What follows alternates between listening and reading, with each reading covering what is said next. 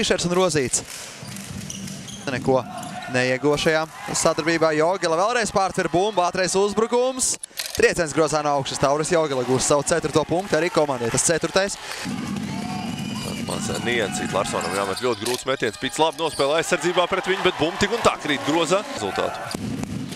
Kaufmanis eh, precīzs. Kaufmanim divi. Tā domā, kur dot piespēli mētra. Ātrais uzbrukums. Divi punkti grozās. Alvis mētra. Caurgājienā. Laba piespēles Kārli. Tālmetiens. Precīzs. Haralds Kārlis. Svarīgā mirkli realizē. Abi ir spēcīgas miesas būs basketbolisti Blauam. Pustālais mētiens. Precīzs. Lauris Blaus.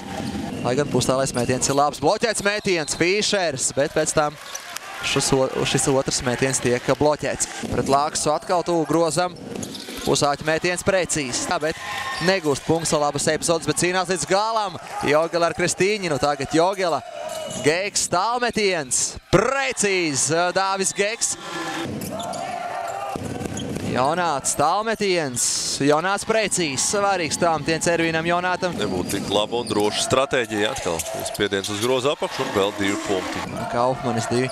1989. gadā dzimuši basketbolisti viens pret otru. Laba piespēle no Kaufmaņa, trieciens grozā no augšas, Dors Fišers.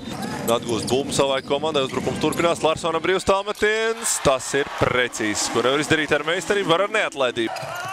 Labi tiek garām Jonātam tālmetiens, precīzs, Ervīns Jonāts. Nāc pozitīvi uzvilkts. Bet Larsons otrā laukuma pusē atbild ar diviem punktiem ar sodu. Pats rotācijā.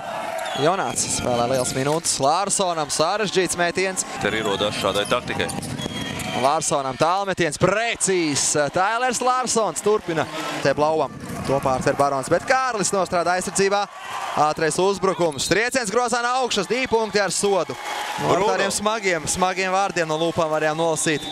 Šie Dāvi Gekam, Dāvim Gekam velta. Reimanis labi turās. Pusāķa mētiens blauvam, precīzs. Lauris Blaus. Garām netiek piespēle Fišeram. Trieciens grozā no augšas. Skaisti izspēlēts uzbrukums Valmierai. Ir spēlētāji, kuram ļoti viegli punkti. Tātad Larsons uzņemās iniciatīvu šauja tālmetienu. Jo ir piezīme norma, bet tā vietā vienkārši kļūdās aizsardzībā Valmierieši. Tas bija Helmaņa norādījums. Pustālais mētiens, precīzs. Viss Helmanis zina, kuram ir karsta roka šobrīd.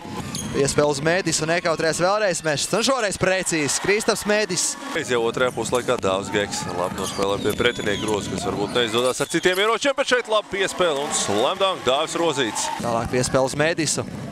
Kristīņins, trieciens grozā no augšas, 12 punktu pārsvars. Un tad gan basketbolu Pīts jau caurgainā, viņa metiens bloķēts. Kristīnins lieliski nospēlēja aizsardzībā.